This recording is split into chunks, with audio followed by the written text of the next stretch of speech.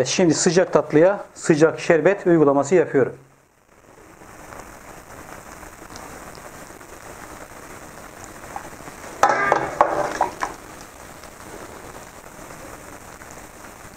amacıyla size şöyle gösteriyorum. Şimdi dokusunu da görmeniz için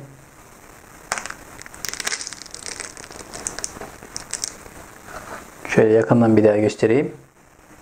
Gördüğünüz gibi bütün katları tek tek ve ipincecik güzel bir fıstıklı baklava oldu.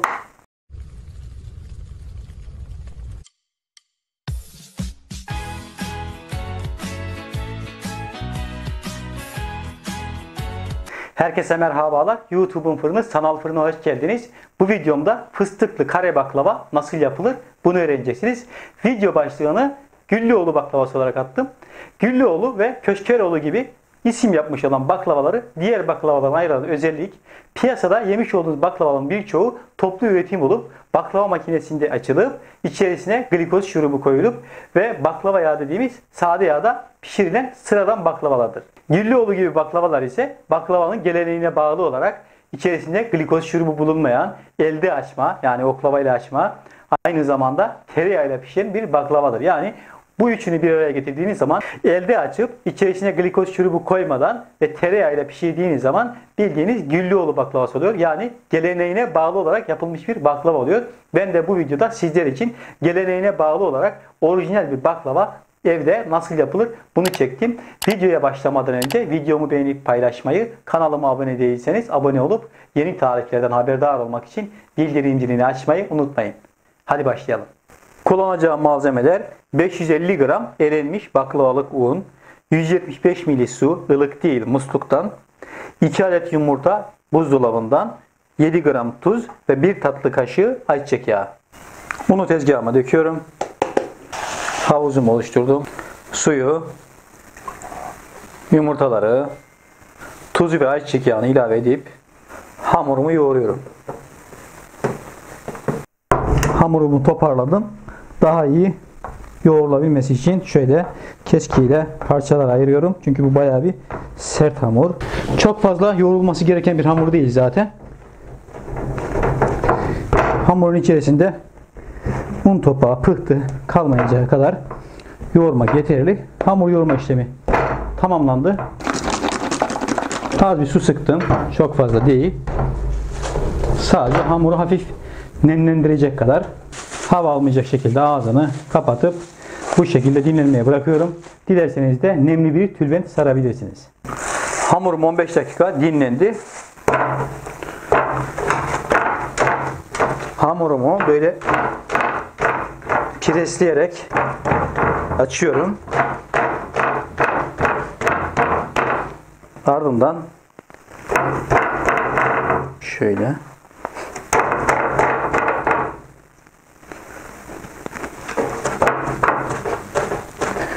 sıkı bir şekilde içerisinde hava boşluğu kalmayacak şekilde böyle sıkı bir rulo yapıyorum. Sonra şöyle sıkıştırıyorum. Kenarlarını da bu şekilde uçlarını kapatıyorum. Elimle sıkma yöntemiyle. Yine fıs fısla hafif nemlendirecek şekilde su sıkıyorum. Yine bu şekilde hava almayacak bir şekilde olması gerekiyor.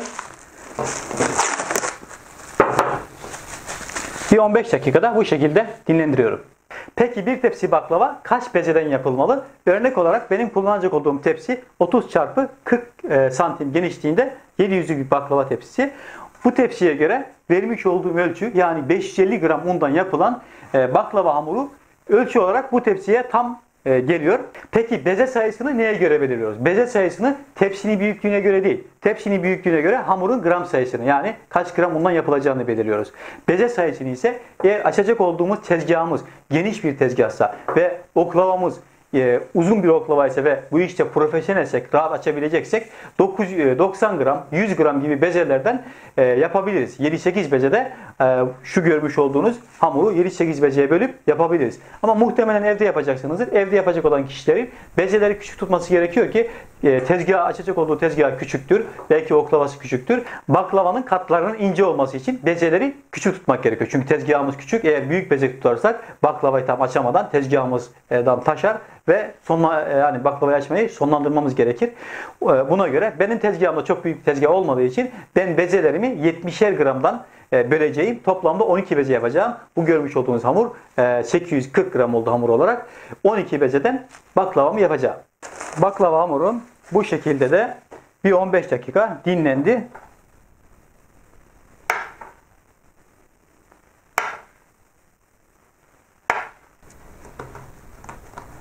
Şöyle hafif bir düzleme yapıyorum.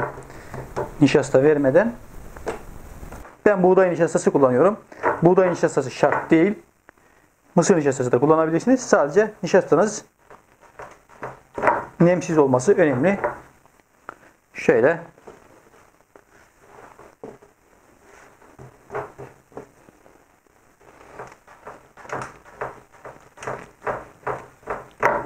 Bezelerimi bu şekilde açtım. Tekrar üstlerine streç çekiyorum. Hava almayacak bir şekilde sarıyorum. Varıp 15 dakikada bu şekilde dinlendi. Hepsinin üstünü birden açmıyorum. Kurma yapmasın diye. Şöyle kenar alıyorum. Merdanem bu. Merdane ile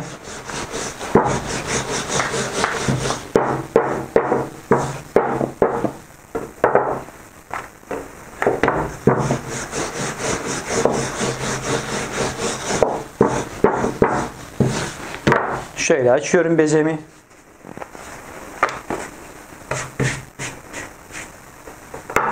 Üstüne yapışan nişastayı temizleyip şöyle bir toz nişasta atıyorum. Bütün bezeleri tek tek açtım. Aralarına hafif bir nişasta serperek tekrar yığdım buraya gördüğünüz gibi. Şöyle etrafının fazla nişastasını temizliyorum. Üstüne tekrar streç çekiyorum. Bu kez daha uzun süre dinleneceği için üstüne bir de böyle ıslak pasa bezi ıslattım. Onu da streçin üstünden bu şekilde koyuyorum ki hamur nemini kaybetmesin. Buna başlamadan önce baklavada kullanacak olduğum 600 gram tereyağını kısık ateşte erimesi için ocağa bırakıyorum. Gayet güzel, nemli bir şekilde duruyor.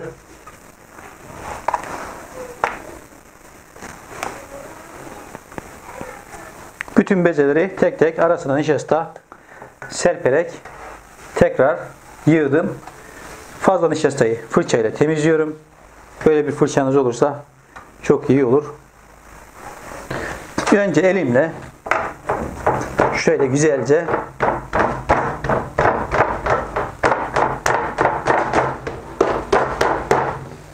eziyorum.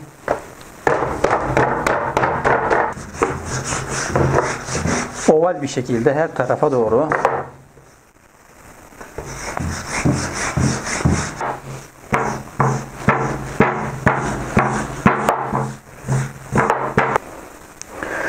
Ve şimdi oklavaya saracağım.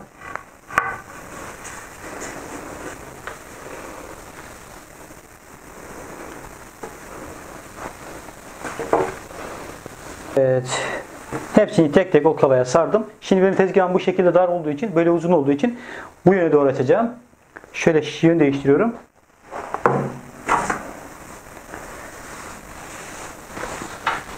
Şöyle toz diyebileceğimiz nişasta atıyorum. Bunu yaparken önemli olan şimdi söyleyeceğim. Şöyle tekrar toz atayım. Bunu yaparken oklavayı hiç kaldırmadan, arada hava boşluğu bırakmadan bu şekilde seriyorum. Eğer oklavayı kaldırırsanız arada hava boşluğu olursa açarken zorlanırsınız. Ardından şöyle sarıyorum. Yine sıkı sarmak gerekiyor. Arada hava boşluğu olması olması iyi.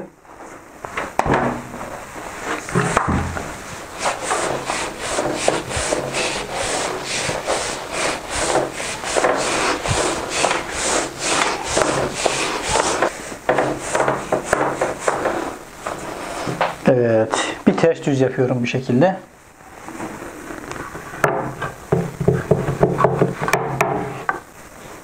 Baklavaya sarıyorum.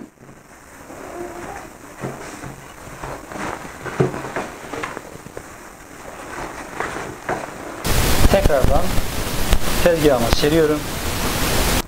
Baklava yufkalarımı tekrardan aralarına hafif nişasta serperek tezgahıma tekrar seriyorum. Şöyle bir toz denecek kadar.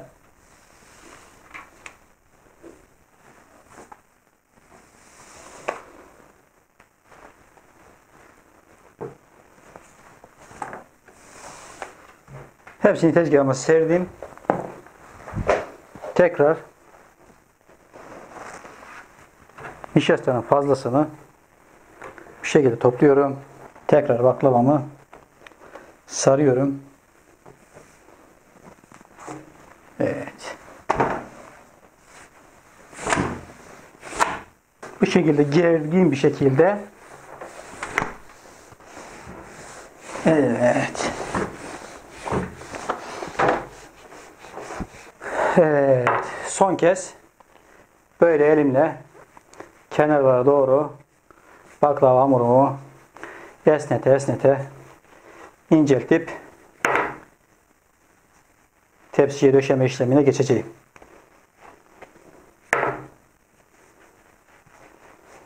Tamamdır. Şöyle bir silkeleme yapıyorum. Yapışmış olan katlar varsa açılsın diye baklava hamurumu tezgahıma serdim. Kullanacak olduğum tepsi bu. Tepsiyi hamurun ortasına koyuyorum. Tam tepsiden sıfır değil de şöyle hafif kenarlarından geniş alıyorum. Bunun nedeni eğer yufkalar çekme yaparsa kısa düşmesin. Şöyle.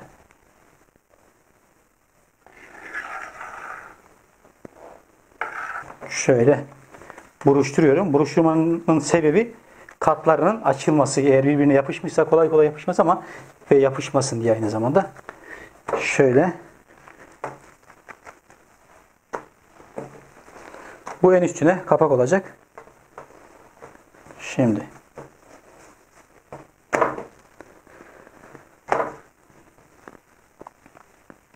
Şimdi gelelim baklava tepsiye e, ne kadar e, fıstığın altına ne kadar fıstığın üstüne gelecek bunu basit yöntemle size anlatacağım. Şimdi terazim burada. Bu en üstüne koyacak olduğum kapak. Bunu koydum. Bütün hamurları koyuyorum teraziye. En basit yöntem budur. 1 kilogram hamur var burada şu anda. 500 gram ayıracağım. Şöyle 700. 580. 447. Şuradan birkaç parça önemli değil. Yani şu kalanlar üstüne bu parçalarda altına tam denk geliyor. Yani buradan birkaç yaprak buraya koyacağım.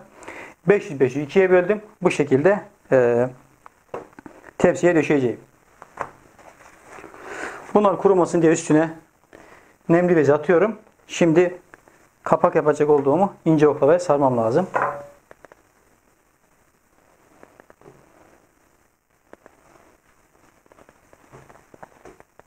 Evet baklava tepsimi aldım.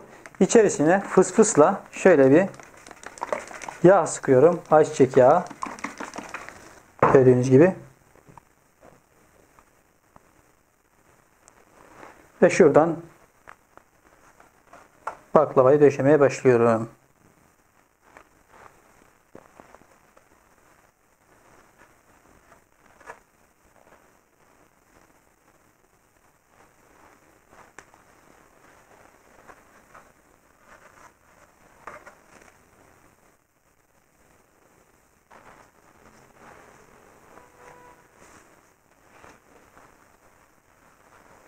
Böyle bir sıra dizdikten sonra yine arasına ayçiçek yağı sıkıyorum. Elinizde fırça varsa fırçayla da böyle serpebilirsiniz. Ben fıs fısla daha kolay olduğunu düşünüyorum.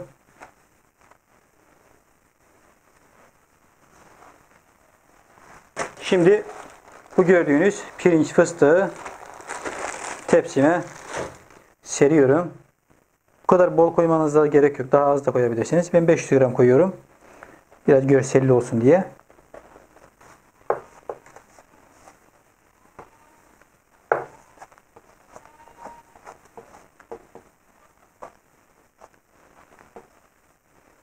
Hamuru tarttım.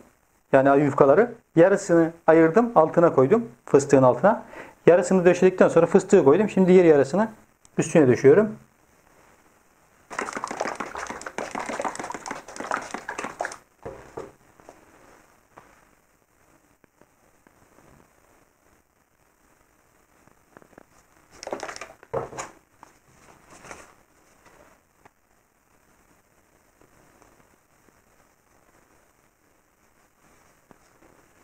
Evet.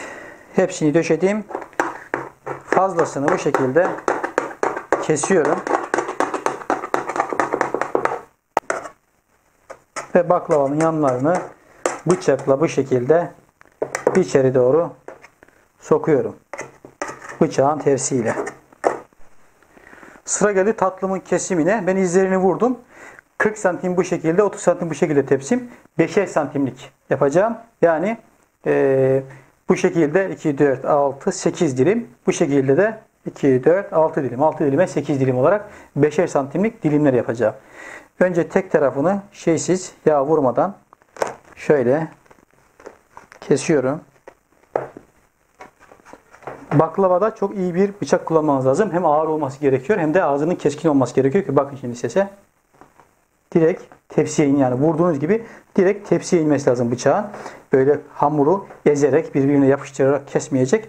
Direkt hamuru kesecek. Şimdi sıra geldi baklavanın yağını vermeye. Yağı ısıttım, erittim. Daha sonra biraz soğumaya bıraktım. Ilık şu anda. Çok fazla da soğursa tekrar donuyor biliyorsunuz. Tereyağının içerisinde ayran, şu gördüğünüz beyaz bazen üste çıkar bakın. Bazen alta iner. Bunun eğer süzmezsek baklavanın üstünde çıkacak. Daha sonra baklavayı pişirirken yanıp siyah kötü görüntüler verecek. Onun için bu şekilde bir e, bone ile süzeceğim. Yani baklavanın yağını süzerek uygulayacağım bone ile.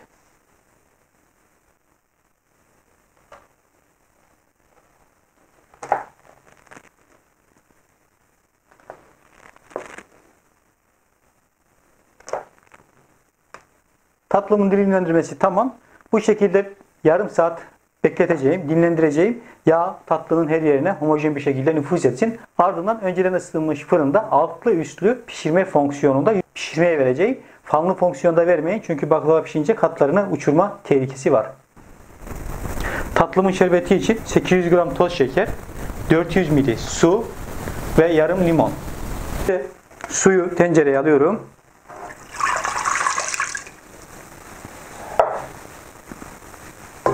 Şekeri de tencereye alıyorum. Limonu sıkıp kabuğuyla birlikte tencereye atıyorum. Kapağını kapatıp ocağın üstüne kaynamaya bırakıyorum. Kaynamaya başladıktan sonra 5 dakika kaynaması yeterli. Sıcak tatlıya sıcak şerbet uygulanacak. Tatlının pişmesiyle şerbetin altını kapatmasını aynı ana denk getirmeniz gerekiyor. Evet baklavam 170 derecede 45 dakika pişti. Şimdi yağının fazlasını süzüyorum. Te tepsiyi çok fazla diklemiyoruz. Çünkü eğer diklersek yığılma yapabilir. Bu şekilde hafif dikleyerek yağın fazlasını süzdüreceğim. Evet şimdi sıcak tatlıya sıcak şerbet uygulaması yapıyorum.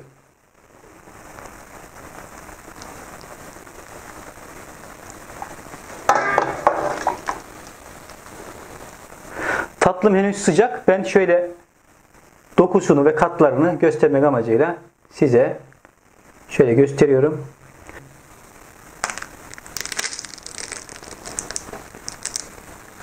Şöyle yakından bir daha göstereyim. Gördüğünüz gibi bütün katları tek tek ve ip incecik güzel bir fıstıklı baklava oldu. Çok kaliteli fıstıklı kare baklava oldu. Sizler de yapın, beğeneceksiniz. Bir videonun daha sonuna geldik. Yeni tariflerle, yeni videolarla görüşmek dileğiyle. Sanal fırında kalın. Hoşçakalın.